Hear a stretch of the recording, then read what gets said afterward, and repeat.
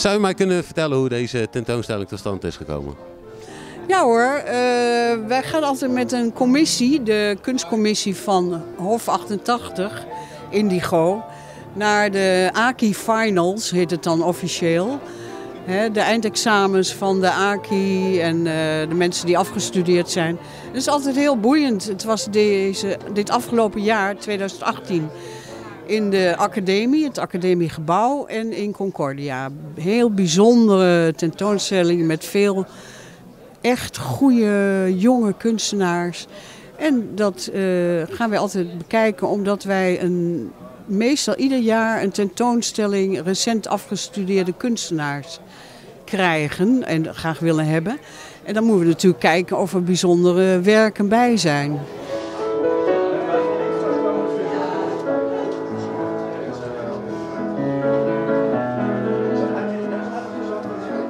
Ben bezig met de vergankelijkheid en de transformatie en de tijd die daarbij hoort. Um, onder andere uitzicht dat in dit werk um, dat ik vanuit een onderzoek naar materiaal um, uh, eigenlijk verrast word door wat het materiaal zelf doet. Dus het is ooit een experiment geweest waarbij ik niet bedacht had van tevoren wat het zou doen, maar gewoon maar uitprobeer. En uh, het glas wordt hier uh, vastgezet eigenlijk op het moment dat het net smelt. En dan trekt het naar zich toe, maar ook uit elkaar. En dat is hoe je die structuur krijgt die je ziet. Um, en het is heel fragiel, maar nog steeds sterk genoeg om horizontaal in de muur te hangen. En uh, ja, voor mij een soort van verstilling van, ja, van het materiaal ook op dat moment.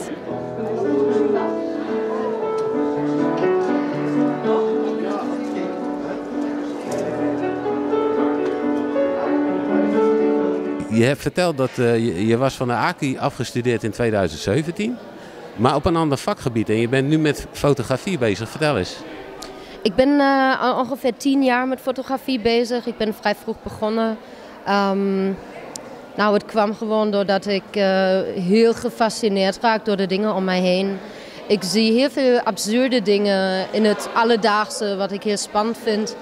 En um, het frustreerde mij altijd heel erg dat ik aan andere mensen niet kon laten zien of horen wat ik eigenlijk waarneem.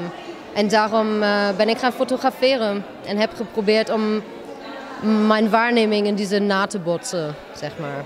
Nou, uh, dit werk wat jullie kunnen zien uh, komt voort uit een minor-project dat ik 2016 heb afgerond.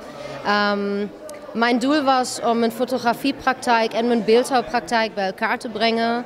Want uh, normaal zijn die twee heel um, afgescheiden van elkaar. Dus uh, ben ik een installatie in een fotostudio gaan bouwen met allemaal spullen uit mijn beeldhouwatelier. Om dan uh, dat vervolgens te gaan fotograferen. En dit is het resultaat.